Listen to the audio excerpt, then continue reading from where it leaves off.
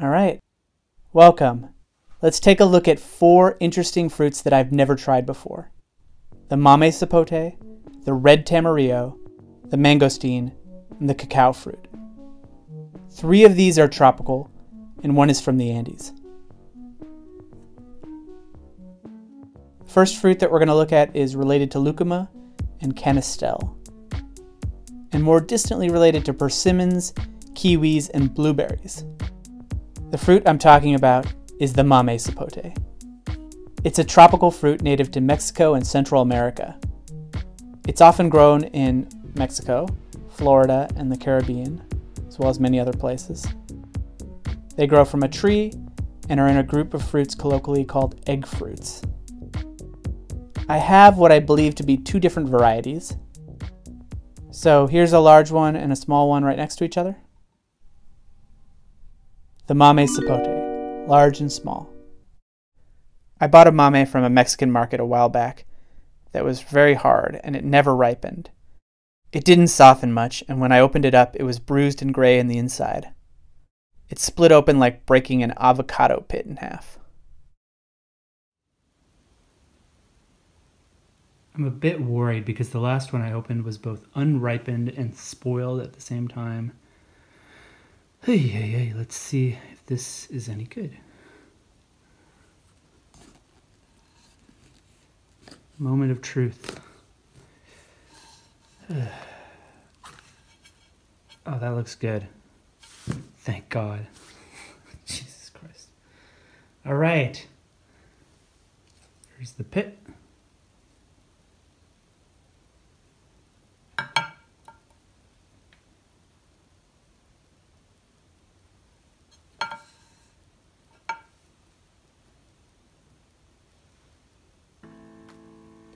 So I gave it a taste, and the flavor was very familiar. It tastes like a concentrated persimmon flavor, like dried persimmon. Very sweet, no tartness. The texture was very soft, like an overripe avocado. And now, the little guy. The little one, on the other hand, tasted quite different. A bit grainy, and had like a pear texture to it and interestingly also had a bit of a pear flavor to it. It didn't taste spoiled, but it seemed like it was overripe. And the color was not as vibrant, more of a grayish color. Similar to the one that I had that was spoiled a while back, that was underripe and spoiled, that had, I mean, it was so bad that I didn't even taste it.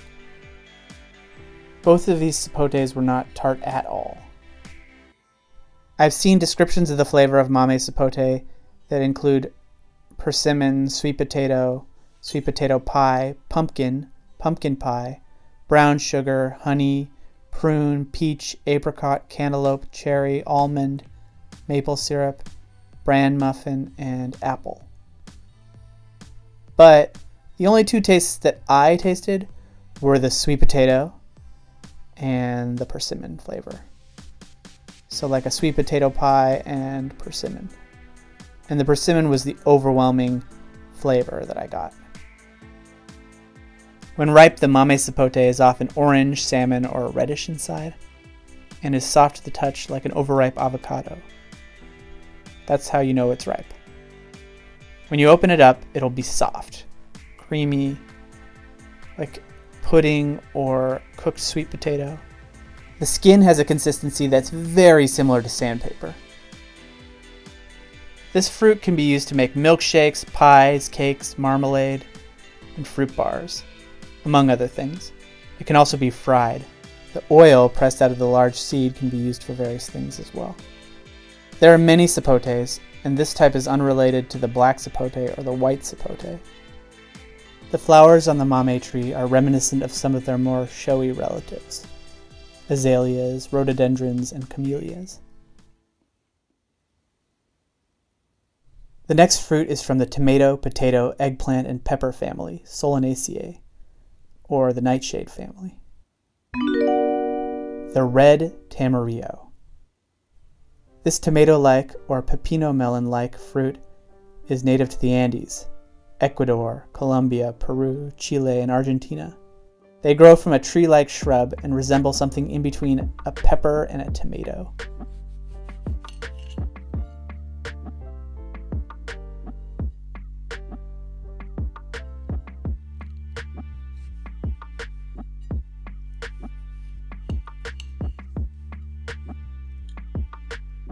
This one tasted like a tropical, flavorful tomato. Not a commercial, tasteless tomato from a fast food chain or grocery store, but a real garden harvested, ripe, tasty tomato. It was a mix between tomato and passion fruit. And it's more acidic than most tomatoes with more bite. But there are definitely those tropical passion fruit undertones there. I was really surprised how much I like this one. You eat the inside and generally avoid eating the bitter skin. Cut it in half and scoop out the interior with a spoon. It's also called a tree tomato or blood fruit, among other names. It's great for chutneys, compotes, curries, making juice, spread on toast, or even roasted. I imagine this would do great to liven up a fish dinner, similar to how you could use a lemon or some quality tomatoes. Yeah, I was really surprised how much I like this one. And since it isn't tropical, I'm curious if I can grow it in my area. This next one is an interesting fruit from a group of plants called Garcinias, and it's somewhat related to lychee, the mangosteen. Despite the name, it's not related to mangoes. I mean, everything is related to each other, but you know what I mean. Mangosteens are native to tropical Southeast Asia, and they grow from a tree. I looked them up online and they don't look normally like this. This one looks like it's been through a lot. It's seen a lot. It's been around the block. If this mangosteen could talk, it'd have a lot of stories to tell. Supposedly, the mangosteen is very sweet and tastes like pineapple and peaches. It's slightly acidic and can even have caramel, butter, and grass like aromas. But the one I bought looked very much past its prime to say the least, and tasted more like a spoiled grape than anything else. Ideally, mangosteens are very sweet and tangy inside. The rind is inedible, and an extract from the rind can actually be used as a fabric dye.